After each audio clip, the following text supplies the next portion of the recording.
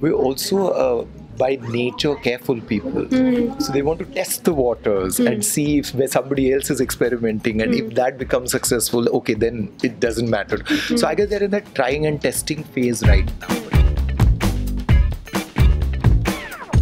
So 2019, as per Karan Johar, has been a film for uh, has been a year for um, content and uh, especially unexpected content which has gone out and done uh, really well. So which film, according to you, not only in 2019 but in the last couple of years, has been one of those unexpected hits for you? I would say Badhaai Ho for sure because that was uh, I think that was a film that I had gone on the sets of and I had I was there at the shooting a couple of times Huh.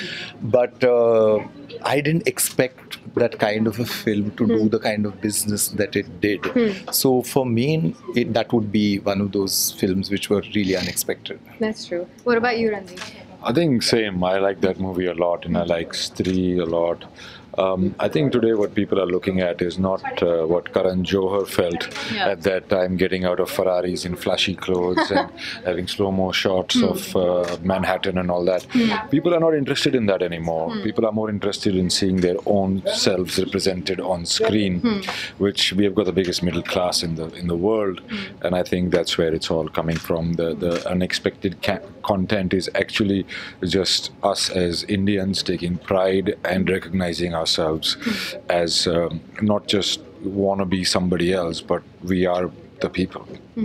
Well, that's a really uh, right way to put it because content right now is not just films, it's everywhere, right? And that kind of leads me into my next question as well is that. Uh, well, this is specifically for you. I've seen a lot of, uh, I would say, commercial mainstream actors still uh, find it a little difficult to actually break that barrier and go completely into digital. I mean, there is Saif Ali Khan, you know, he tried Sacred Games, or there is Emraan Hashmi with Bard of Blood. But there is, I feel, and correct me if I'm wrong, I still feel there is a stigma कि, you know, jitna bada star hai, the minute he crosses over to digital, it's going to be this big deal. Um, do you think that makes any difference, or in the process of making, or just your thoughts on going digital completely, or even experimenting with that? I don't think. um see, all of us when we want to be when we started or wanted to become actors, digital wasn't there. So there was this thing of being on a big screen, being watched by a collective audience, and people kind of looking up at you. Right. So that is always going to be the draw uh, uh, for for for actors. But I don't think I don't know. I've never thought of it like that. Mm. I did a movie recently with Chris Hemsworth, who's mm-hmm. probably the first top three stars in the mm-hmm. world, and um, never did once it did come up in a conversation that he's crossing over or anything. He's mm. just doing a film, mm-hmm. and I feel the same that your film is a film. Mm. Uh, well, with a digital platform, there's an advantage. You don't have to face the Friday brickbats, you know. But isn't that more fun to face the Friday and the weekends of it all? Um, I don't know. It's a personal choice, I guess. Uh, I mean, what really makes you tick? Because, like he said, I mean, most actors, uh, when they started their careers, because there was uh, there were no choices. The big screen was the only option to be popular, to be wanted, to be loved. Um, now these options have come in, and of course, the reason why I feel also there is a hesitancy from most or most of them is that I think we're also. By nature careful people. Hmm. So they want to test the waters and hmm. see if where somebody else is experimenting and if hmm. that becomes successful okay then it doesn't matter.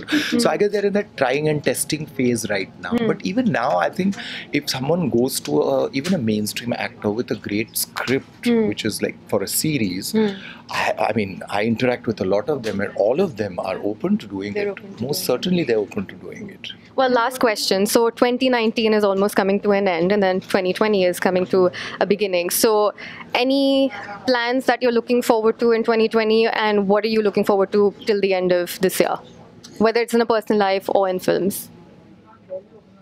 Well, life's mostly about work, has always been, and I did not work for the longest time. So I am just, I've collected a lot of real life experiences which mm-hmm. I would like to, uh, you know, regurgitate mm-hmm. on the screen or, or mm-hmm. for a script. So I'm just looking forward to working more and more and churning out more work for, you know, all the time that it has built up inside me. Amazing. What about you, Niranjan? In my case, it's exactly the opposite Oh. because I've been working. I, I just feel that uh, for a writer specifically, uh, you need to nurture yourself for any story or anything to come out, and uh, unfortunately. Uh, I haven't been able to do that much of nurturing as I think I should. So I'm planning to take 2020 as the year of nurturing myself That's good. and figure out what I want to do Ponds? next. Is it Ponds? Well, that's good. Thank you so much.